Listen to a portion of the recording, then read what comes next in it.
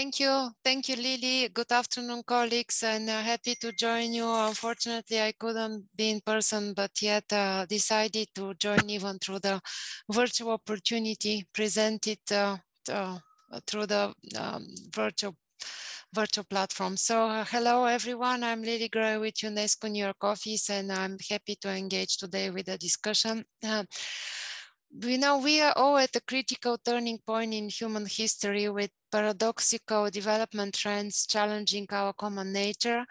And uh, I'm happy that uh, Lily already introduced the framework by referring to the real purpose of uh, education. What has come through uh, various consultations uh, uh, and engagement processes is that we must urgently change course and transform the future while the international community certainly is fully aware and cognizant that the knowledge and education are key to shaping more just and sustainable futures.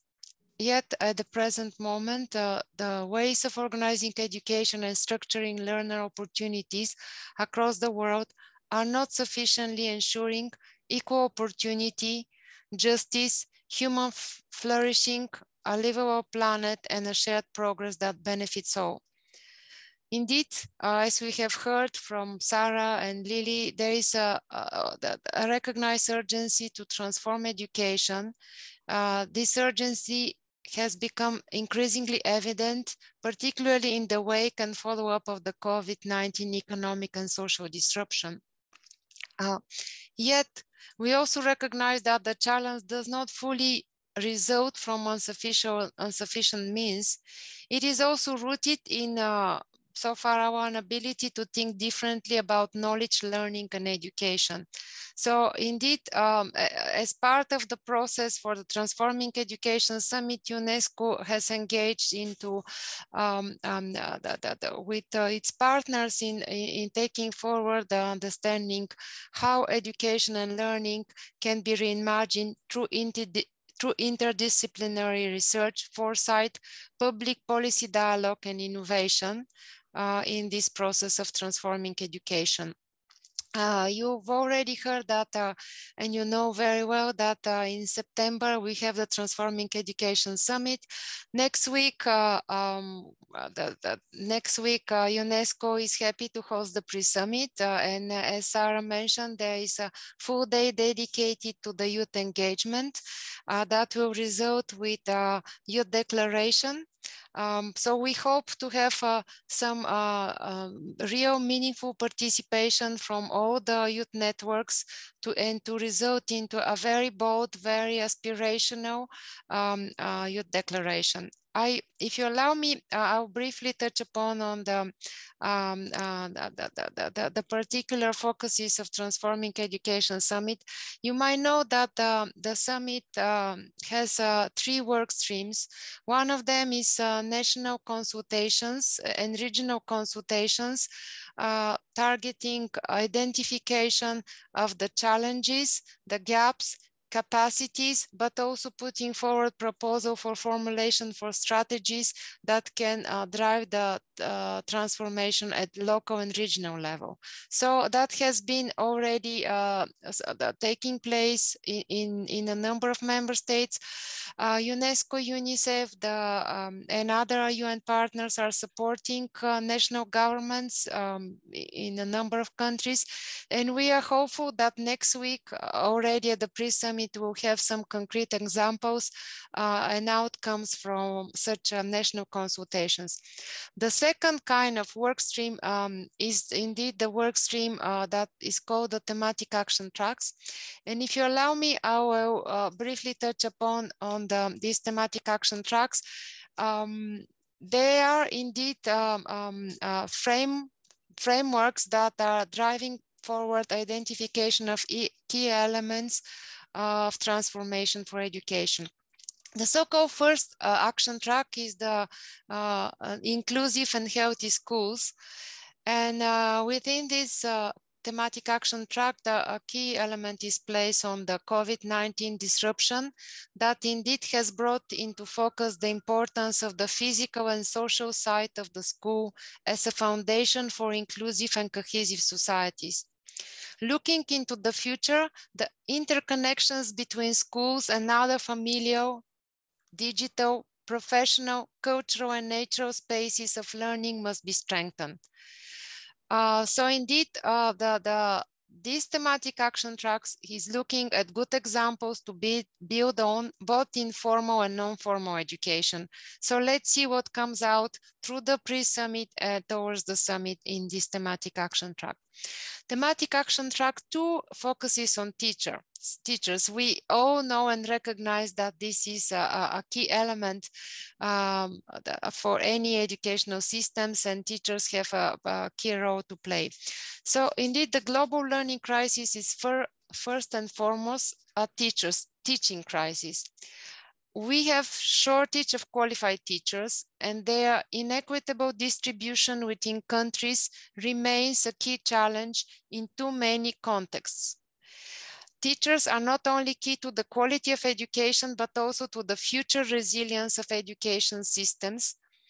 And teaching profession must be valued both politically and socially. Therefore, the future of teaching must become more collaborative through teamwork and networking and adequate professional support. That was actually thematic action track three, but uh, so now I'm moving to thematic action track two. Very briefly, uh, thematic action through focuses on learning and skills for the future. The future is by definition uncertain and learning and skills must contribute to individual and collective well-being in the face of uncertain economic, social and environmental futures.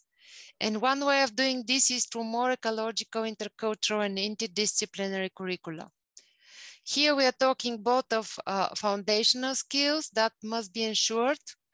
Uh, for example, at present, basic literacy, literacy remains a challenge for too many youth around the world, if you can imagine, which absolutely undermines development efforts. One in five youth are not in education, in training or employment. And indeed, that's why we need a targeted action to scale up uh, in order to ensure SDG 4 commitment to universal youth literacy by 2030. Within that thematic action track, there are also key elements uh, for transformative education, um, as UNESCO would like to frame it. And here we are talking about education for sustainable development, including education for climate change, education for global citizenship, education for human rights and others. Uh, so the fourth important thematic action track where we want to identify through the, the Transforming Education Summit uh, key elements of transformation is the digital learning. Again, the COVID-19 educational disruption has underlined the importance of using digital technologies to support, but really not replace the essential roles of teachers and schools.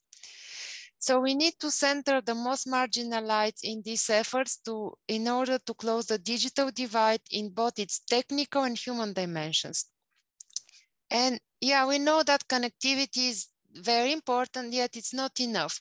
We need public digital education platforms with quality assured learning content, uh, content aligned with national standards. There are uh, good examples that these uh, thematic action tracks have identified for uh, strengthening public digital education systems during the pandemic. And uh, as we look to the future, more attention definitely needs to be paid to pedagogical innovation to make the fullest use of the interactive educational experiences that connected technologies have to offer. Um, uh, last but not least, the uh, fifth thematic action track is the one on financing of education. And of course, uh, to properly serve our societies and our common future, education must remain a public good and a collective responsibility. As such, education requires sufficient and sustainable public funding. The existing education funding gap will continue unless determined domestic and international public action is taken to prioritize fi financing of education, uh, unless we encourage civil society engagement and advocacy in order to improve equity and efficiency in public education spending and strengthen taxation systems. So this is, uh, uh, uh brief, uh, where we are targeting to identify key elements for uh, transformation of education. So we hope through the public engagement, public mobilization uh, work stream, that is the third work stream of the Transforming Education Summit. And that is the work stream where we have involved youth networks and uh, the, uh, how we have mobilized the, the attention, the participation at the pre-summit in UNESCO. So we really hope to, uh, to see some advancements, some bold proposals. So we are able at the end of this whole process that has lasted uh, uh, more, a little bit more than half a year to be able to say that we fulfill this really ambitious um, uh, this big ambition of the Secretary General International Community to identify a clear vision how we are going forward. And definitely the role of youth is key. We really count on you on every single one of you to be bold, to be ambitious, to be proactive, uh, and to engage in uh, in various platforms in order to make the, um, in order to push the the boundaries uh, uh of uh, international agreements on education. Uh, apologies, I might have taken more than the given time, but I just wanted to share at least a, a little bit at length on on these few points. Thank you, and over to you.